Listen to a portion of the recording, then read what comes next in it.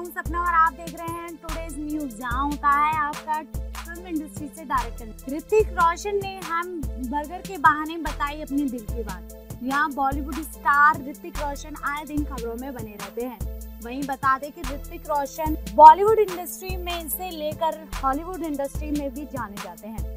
ऋतिक रोशन को Bollywood industry में super hero के नाम से जानते हैं, जो कि काफ़ी ज़्यादा ज़बरदस्त है। आपको बता दें कि पिछले साल उनकी फ़िल्म आई थी सुपर थर्टी और वॉर जो कि काफ़ी ज़्यादा दर्शकों को पसंद आई थी। आपको बता दें, इस फ़िल्म, इन फ़िल्मों ने बॉक्स ऑफ़िस पर धमाल की कमाई की थी। वहीं हम इनकी किरदारों की बात करें तो ऋतिक रोशन ने इसकी किरदार ज़बरदस्त निभाए थे।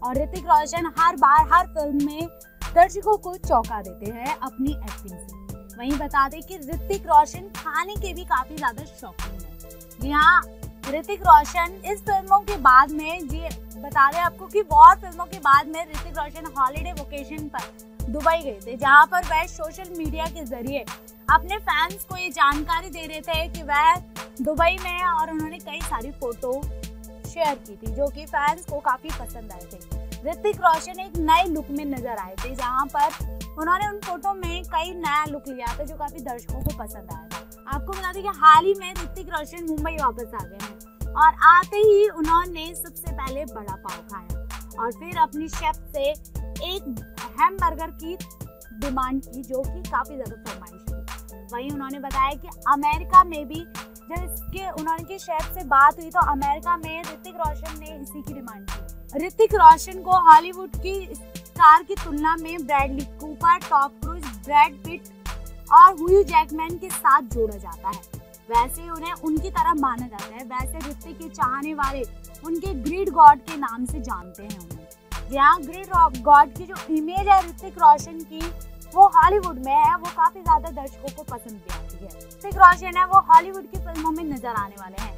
उनके जो मैनेजर है अमेरिका सेन कहती है कि ऋतिक 20 साल से बॉलीवुड इंडस्ट्री में हर तरीके की फ़िल्मों को अंजाम दिया है। उन्होंने सात दुनिया के दूसरे देशों में भी लिखी गई कहानी को भी बहुत गहराई से और उनके किरदार जो उन्हें सच्चे दिखाई देते जो उन्हें लगता है कि ये किरदार करना अच्छा है जिससे दर्शक उन्हें पसंद करेंगे। वही किरदार करना पसंद करते हैं। इसी के साथ बता दें कि ऋतिक रोशन के अलावा हॉलीवुड में प्रियंका चोपड़ा, दीपिका पादुकोण, इरफान खान और उन पर फ़िलहाल ऋतिक रोशन के वर्क फ्रंट की बात करें तो ऋतिक रोशन क्रिश फोर में नज़र आने वाले हैं। जी हाँ क्रिश की जो सीरीज़ है, वो उसको पूरा करते हुए नज़र आएँगे। क्रिश फोर में नज़र आने वाले हैं, जहाँ पर वह एक बार फिर बच्चों को दर्शकों को और अपने फैंस को सुपर हीरो की भूमिका निभाते हुए नज़र आएँगे।